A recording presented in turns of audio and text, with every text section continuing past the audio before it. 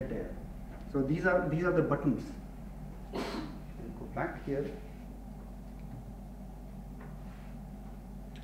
So these are the buttons and they are at different wear and tear. So then they calculate the volume. So how, uh, how this different wear and tear affects the volume of the, of the threads. These are different threads again. So fibers, we have looked at natural fibers, synthetic fibers, carbon fibers, all these things. Mining is again another one that is uh, using lot of visualization, volume visualization. Um, Rio Tinto is, I mean, there are many, many, many groups within Rio Tinto, but one of the groups uh, which deals with the uh, iron, iron ore, um, has has been using Drishti for, for a long time. Uh, we have also uh, looked at diamonds in order to see the um, impurities within the diamonds. Uh, then we are, this is, this is an iron ore pellet by the way. So iron ore, right from iron core to actual iron, it goes through various stages. It, it goes through various furnaces and all those things. In order to have the highest yield, they need to have a high uh, surface area so that the lime or whatever they put in has, has a big surface area to react. So they take the pellet and then they scan it and see what is the surface area. Uh, this is just one of the examples. Then we are also looking at um, uh, gold. So gold, uh, gold mine, Rio Tinto has gold mines. We are also looking at, uh, we, we see only this much time. Uh, to see the, the, the gold content and all the different minerals. So again, depending upon the uh, X-ray contrast, we can identify some, we, can, we can't identify some. So we are exploring that part in mining. Porosity is again another big one. Astrophysics, they generate huge amount of data. It's all volumetric mostly. What you are seeing here is, this one is a pressure wave. Um, it was from a, a simulation long time back. So we, we can see pressure, temperature, velocity, and all these things. Basically understand the phenomena visibly. I mean, you have all these numbers, but then looking at that, we can see what is actually actually going on. Now this one is this one is not done with Drishti, by the way. This was done with a different software called Houdini. Uh, now visualization. Well, this is I'll just say visualization is not just creating images. Visualization is, especially scientific scientific visualization, is a purely interdisciplinary technique. Mean, you need to have some grasp of arts. You need to have grasp of programming you need to understand what the other researchers are saying. So you need to have that interdisciplinary, open-minded approach to problem solving. This is essentially problem solving. We are solving a problem. The problem is that I've got this data, I need to understand it. So visualization is purely is a is at the crossroads of all these things that are coming in.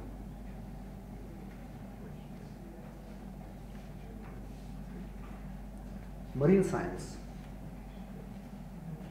Uh, this is from National History Museum, London. Now what you are seeing here are two fish. The top one is an anglerfish which has swallowed another fish which is twice its size. That's the size of the anglerfish and that's the size of its stomach. When it was pulled out in 1996, I think. It was it was lying in um, in formalin. So so the soft tissue contrast is completely gone. There is no soft tissue contrast at all. The only thing we can see in, in CT are the bones. And I don't know exactly why we can see the eyeballs. But that's what we are seeing. Now using this information, the experts were able to determine what sort of fish the anglerfish swallowed. Now, there is an interesting thing about anglerfish. especially anglerfish reproduction. The anglerfish female is that size, about that size. Anglerfish male is that size. And anglerfish, male anglerfish fuses with female anglerfish. So when they try to, when the uh, male anglerfish tries to female, uh, mate with the female anglerfish, the mouth starts dissolving and it fuses with the female anglerfish. And the female anglerfish then uses the male body as a sperm resource. Similar thing happens with uh, spiders. We, we did a spider exhibit uh, four five years back. Some spiders actually keep the male sperm in the pedipalps. The pedipalps are the, the ones that are jutting in front of their mouth. And then they can inject themselves whenever the time is right for reproduction. It is, the natural world is just amazing. Now another interesting uh, fact, our cochlear. Do you know that the size of our cochlear is the same as the size of whale cochlear? The reason is the function is the same. It's just collecting the audio waves and converting that into electrical signals. So it's just the pressure wave that it's getting. And why do we get motion sickness? It's because in the cochlear, I mean, I'm, I'm completely digressing here, but it's just fun to tell this. In a cochlear, we have three semicircular canals. This is sloshing with fluid, so it's it's like X, Y, and Z. It is sloshing with fluids, and it's this sloshing of the fluid within these semicircular canals tells us that we are moving. Now, why do we get motion sickness? It's because the brain is trying to understand the information that is coming from the vision, the optic nerve, and it's trying to reconcile that information with the signals that are coming from the auditory, the semicircular canals. Now, when you are moving like that, your brain, I mean, your, um, sorry, when you are sitting in a car and going like that, your, um, the, the liquid in your uh, semicircular canals is not moving that much, but your audit, the visual information is changing rapidly and the brain is trying to reconcile that. And then in some cases, for some people, the brain just gives up. And then it says, stop. It sends a signal to the, the gut saying that please empty it because there is something wrong going on and I need energy to fix this problem. And we vomit. Similarly, when you go round and round and round and then stop, stop suddenly, the the vessel, the, the liquid is washing around you, and if you stop suddenly, you will notice that your eyes go like that. Because when you stop, that is, that is still sloshing around, and the brain is trying to reconcile, why isn't the image moving around? So our eyes keep on moving around, and then after a while, it comes to standstill. So these are really interesting things that goes on in our body just amazing. So oil and gas. This is another um, another field that is actually that's that is the reason I started as industry because they got a project from oil and gas. These were the first ones to use Drishti. So what happens in oil and gas? The thing that these companies do is essentially put a straw into the rock and suck it out. That is what is happening, really.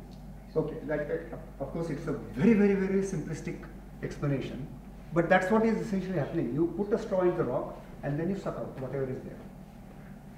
In order to understand or in order to facilitate that, they need to understand how the rocks are connected, how the porosity is connected. Because all your oil, gas, they are in the pores, they are not in the solid part of the rock, they are in the pores of the rock.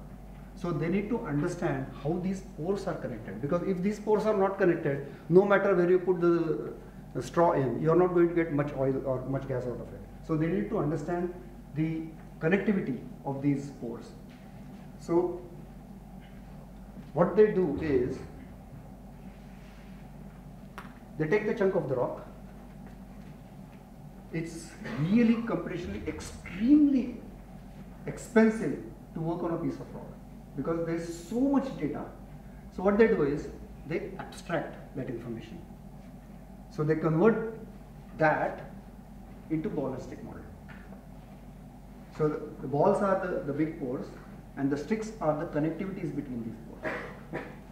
So they abstract this huge information into a simpler model that then they can computationally execute. And then they run the porosity application and so on. So what you are seeing here is the ball stick version of that and what you are seeing here is the fluid flow through that, uh, through another piece of rock. So how the fluid flows through the piece of rock. And the, and the color scheme shows us where the fluid is flowing, where there is a fast flow, where there is stagnation, and then from that you can figure out what is the uh, the constitution of the rock. So is there uh, clay there, or is there dolomite, or all these things? You can. How would you find out the flow, as in like? Uh, you run the simulation. You run the simulation. So you can also run the. Um, you can actually force the fluid in. Okay. Or you can also run. So this one is a simulation, but you can also force the fluid. In. So when you force the fluid in, you take the time series.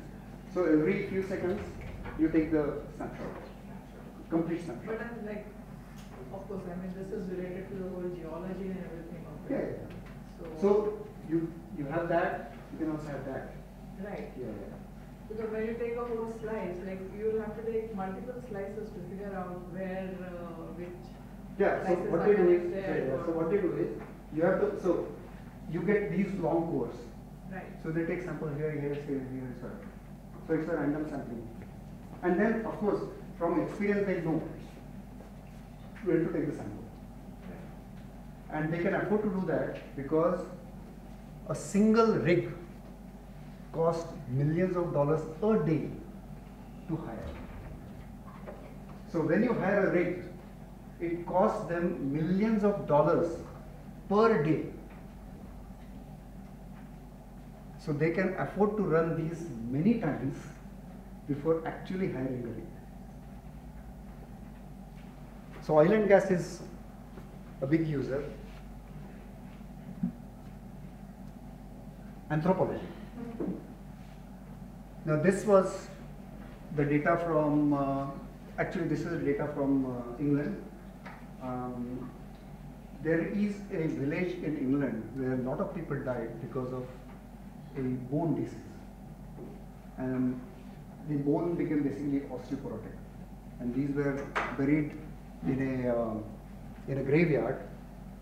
And the researchers got access. It's amazing that researchers got access to these, these skulls. These were about 70 to 80 skulls.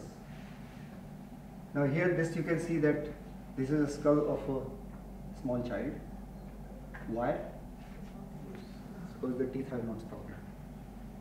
So this is about eight, nine year old child.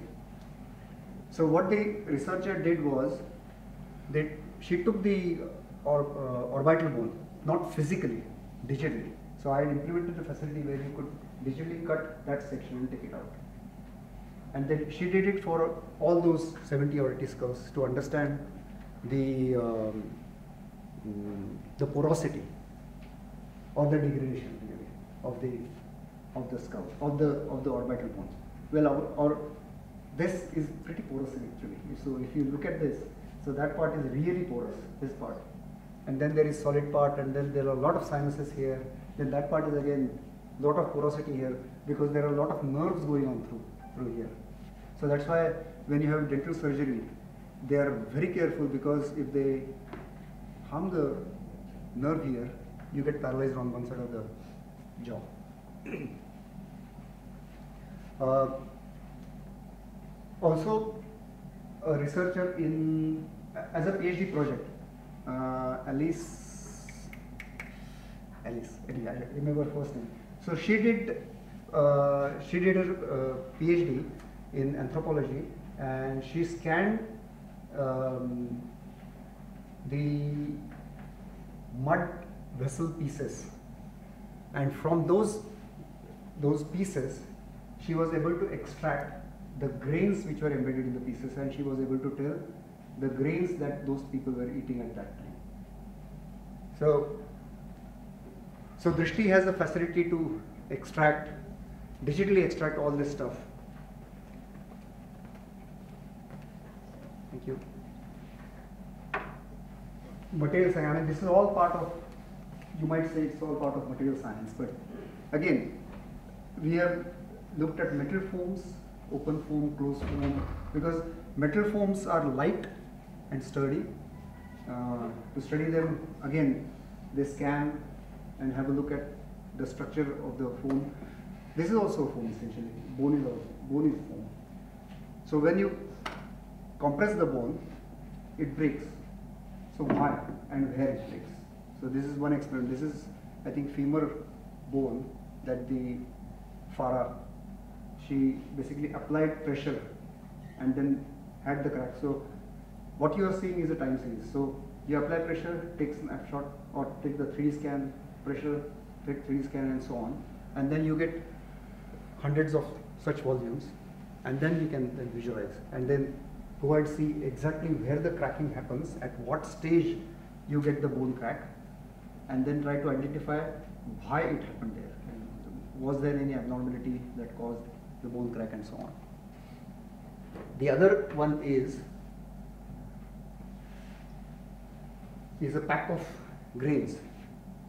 Let's stop there. So you have a grain pack. So it could be, in this case, it's uh, um, sand. And what they're trying to understand is when you apply pressure, how the grains move or reorient themselves and then crack. So so what I have implemented is a facility where you can digitally unravel. So it's a circular thing. You can digitally unravel and you can look at it as a flat plane. So you can see all the sides together. So here you will see that the at some stage you can see the cracking here. And the grains also reorient. So they want to understand how the grains re reorient. So it's balls or different sort of grains and so on. So again, part of mesoscale physics. Forestry is another area where Drishti is used. That group at UBC, University of British Columbia, they have used Drishti VR to teach wood anatomy to students. So they put the VR glasses and use Drishti to digitally dissect and see the internal structure of the wood. This is English Willow. Uh, Phil Evans, the researcher there, has conducted research on cricket bats. He is a cricket fan. Yes. and we all know that Kashmir willow is the best for bats. English willow comes second. And he scanned Kashmir willow, English willow, but we were not able to understand why Kashmir willow is good because the structure looks very similar but still, why Kashmir willow is better than English willow, we don't really know. Yeah. So visualization doesn't help. No, not so necessarily. Far. Yeah, that's true. Yeah. So he has also, well, I mean, how the cricket bat gets its um, stroke. It's not just the main blade, but it's how the handle is connected to the main blade as well, and how the handle is constructed. So all these factors, and then how the main blade, where is the thickness, where is the thinness, and so on. All these factors affect. He has actually created a bat. You can, he, he can tailor-made the bat using lathe machine to suit where you want the sweet spot, how big, how long you want the sweet spot, uh, sweet spot and so on. Uh, another area where Drishti is used is to understand the um, uh, the wood, the antifungal properties. So when they use wood in construction, the wood is always treated with antifungal, so antifungal solution. So what they do is they put the logs in a in a bath uh, Uh, of copper sulfate and all sorts of chemicals. I don't I don't know exactly which ones, but they immerse the wood in these baths and then they keep it for a week or so, so that the the liquid penetrates into the pores of the wood and it cures that and it then retains that antifungal because that's an antifungal solution that they are putting. The other method they are, they are trying is using nanoparticles. What they do is they blast the wood with nanoparticles which contain the antifungal mm, whatever solution or particle there. So what they want to understand is how deep these nanoparticles penetrate. So that's why they, they blast the wood with nanoparticles and then they scan it to understand how deep that penetration is. And then of course there are other testing that you actually put that in different environments to see whether it really works and so on and so forth. But it's to understand how deep the penetration is in terms of liquid as well as the nanoparticles. Now if this technique works, the nanoparticles, then it will be a lot cheaper and it will be a lot faster because you just blast the wood and the, it's treated. So that's another area. Semiconductors. It's to understand the defects in semiconductors. Now, some time back, uh, three, four years back, Samsung had problems. The batteries were basically blowing up. They were heating up and then they were expanding and then they would. So the problem was resolved by CT scan. So they engaged a company. Um, that, was, that was scanned in China and they scanned the hundreds of these phones and then they were able to figure out that there was defect in connection and so on and so forth. Whatever, of course it is not disclosed, but they were able to figure out. Now here you will see that there are defects in the um, uh, in the welding. What is it called? Solder. Correct, correct. So you'll see the bubbles in the solder here.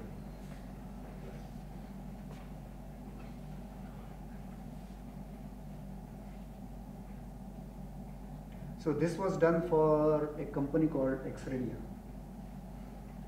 So all of this data was taken through microCT. Yes. Microsoft. So they put these balls in the scanner. So what resolution was it? This was a long time back, so it would be, this would be in microns, a few microns, so five, six microns, definitely. So semiconductor industry is another one. Paleontology. So this is, it's for this, this reason I got the, we got the, the medal. This. So these, so there are four of us uh, for the J.O. Westwood uh, medal for excellence in taxonomy. Uh, so these are fossils in amber. These are 40 million year old fossils in amber. So these are insects, were weevils. They were embedded in the in the amber. These are air bubbles. So these are, I suspect, are the last gasps of that insect, what that weevil. So because that got trapped in a sap and that they would be struggling and so on. But these are some really good ones. So, so we are four of, we have four people working on this data set. Uh, well, 67 data sets. So we had 67 samples, we scanned them. Now why did we use CT? Well, because amber is, uh, maybe you can see through the amber, but lot of these have impurities because it's through a sap, so there is a lot of material there embedded in the along with the with the with the sample. So my role, I don't understand much about entomology, but my role was to digitally clean those images and create the versions that they can use and present and they can understand. This is another one. This is a, a fish fossil, and that's from China. That's the cochlea.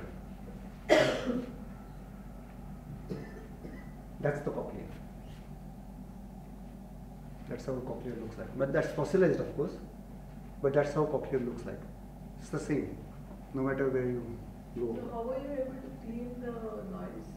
Like what, what did you use to take the noise out? So you can use a bit of smoothing, then uh, you can actually, so I have implemented uh, functionality where you can actually go in and paint. So like um, paleontologists, they use a brush to clean up.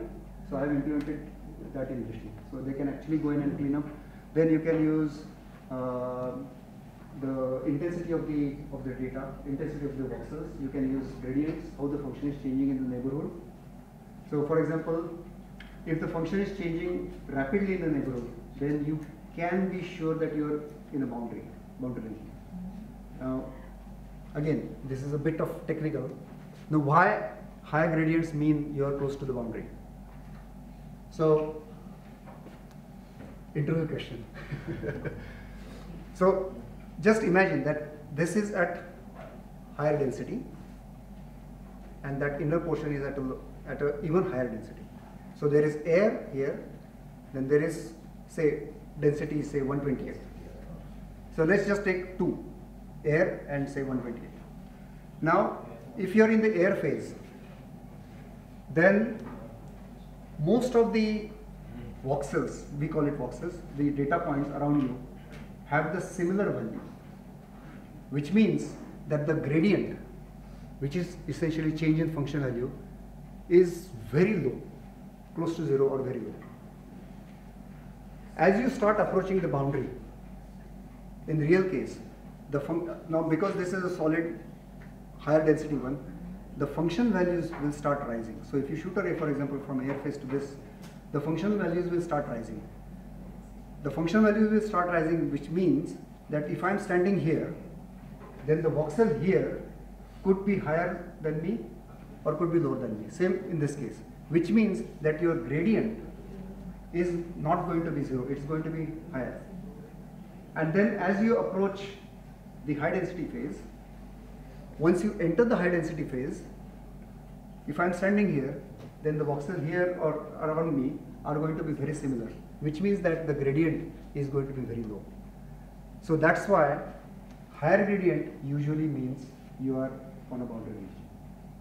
But with noise, of course, you have to cater for noise. Then you can apply smoothing techniques.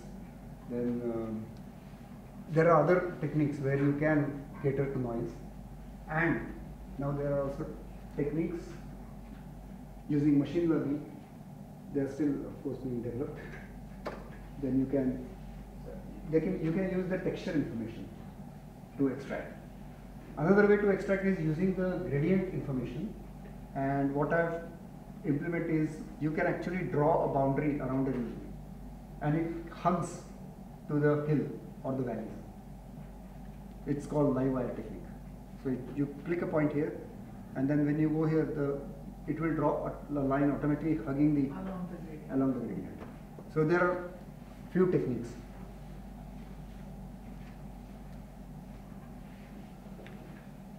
We come to public spaces.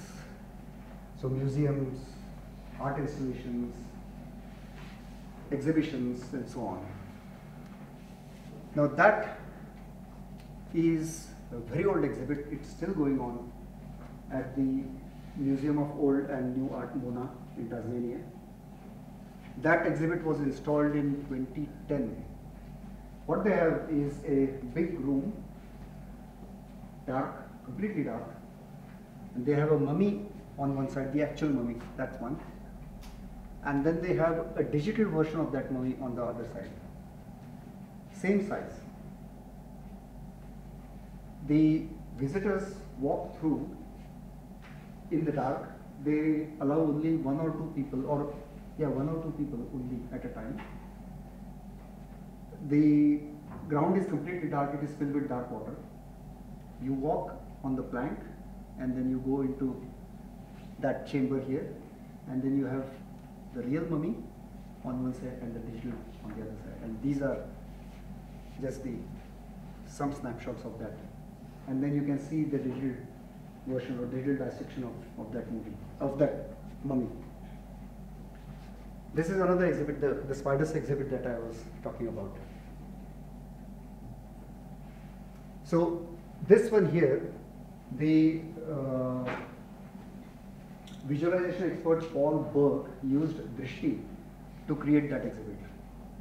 So I have not, I have not uh, created that exhibit. But Paul Bourke used Drishti to create that exhibit. That is Drishti Prayog. So that's so it's a touch screen based. Anybody can download it. You can use it on your laptop. If you, even if you don't have a touch screen, you can just use keyboard and mouse. But that's that's how it operates. And that was the spider exhibit that we did three, four years ago. It's a crowded exhibit, so it goes on. So that was in Canberra, then it moved to Adelaide, Brisbane, and so on. Then another exhibit that we did was at the Powerhouse Museum uh, in Sydney. That's a um, pill bug. So these are the garden, uh, these are found in garden. They the organic stuff. These are really tiny and when you touch them, they just curl quickly. So that's a pill bug. So this was again done, done using Drishti by an artist who used Drishti to create that exhibit. What you are seeing here is the insides of the pill bug. That's the stomach of the pill bug, and that was projected in 3D. So you wear the 3D glasses and it would be project, it would be basically floating in front of you.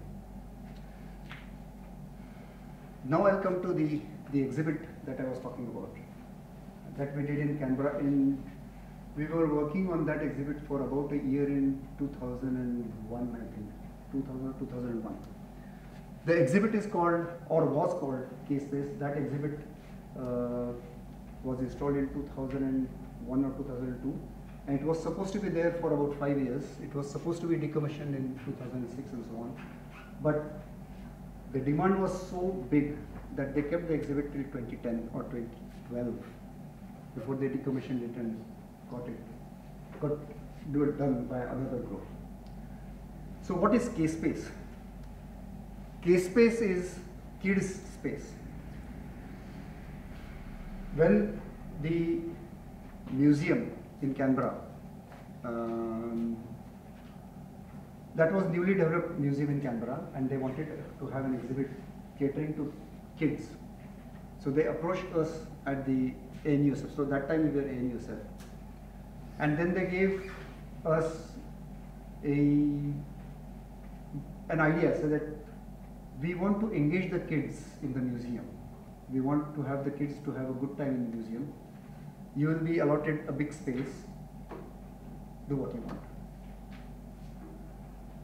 So the the, the leader of the project, my uh, colleague Drew Whitehouse, he invited kids from year three, year four, so standard three and standard four, and then asked them to draw the city of their imagination of the future. So what what would the future be like? What would be the houses in future be like? What would be the cars be like? What would be your city look like? And then they drew all these images from their imagination. We engaged an animator and an artist to create versions of these these models, these buildings, these cars. Uh, they were detachable models, so you had a main component and then you can attach something to it, attach something to it, and so on and so forth. That was 2000, 2001. So we didn't have Unity and any of these things. So Drew Whitehouse wrote the software to, to, to project, to show those, uh, those um, models. So we engaged the animator. He created all different versions of, of these models. Uh, say mm, the main body of the vehicle, then you have propellers, then you have um, some uh, uh, wings, and all sorts of things, all sorts of organic things. The, the kids all drew organic stuff. There were no, no straight lines. They were all curved, they were all beautiful. Similarly with the houses. You have the house, the main body, then the windows, then you have a big doorway, something like that. Then you have uh, a windmill. Because we had asked them to imagine the future. What would the future look like? What is the, the future of your imagination? What, how, would the, how would we use the power? What would be the power source? How would people move around? So we let the creativity flow through and they came with beautiful wild ideas. Then Drew created a, a mock-up city uh, with all the Australian icons. So there was um, the Opera House, then there was uh, Hills Hoist, there was Kookaburra. So Kookaburra is a, is a bird that goes really noisy bird in Australia. Then he had magpies there. Magpies are again a big uh, Australian thing. And all sorts of Australian icons. He, he populated the city with the Australian icons. We had the big city model, uh, virtual of course. Then we had the pulsating music to go through. And then the exhibit. Let me describe the exhibit. So the exhibit had 15 computers working together. Now kids, their attention span is short. So what we had was each of these buildings or the vehicles that they created would have their own photo. In order to do that, when they first approached the, uh, the exhibit, their photo was taken on a blue screen with a blue screen background. Then they went into a, a waiting area. Now, you know that in a waiting, waiting is very boring. It is extremely tedious. So in order to alleviate that, we had a big screen in the waiting area where the models from the previous show were shown there with their pictures and so on. So the kids would see what the other kids had created and that would trigger their imagination again and they would they would be very happy to see their own because what happened usually was the kid would go through the exhibit and then straight away run back and go through another round. It happened many times. They would just go through the exhibit and come back again. So they would be sitting in the uh, waiting area. The entire uh, duration of the exhibit was about 10 or 12 minutes.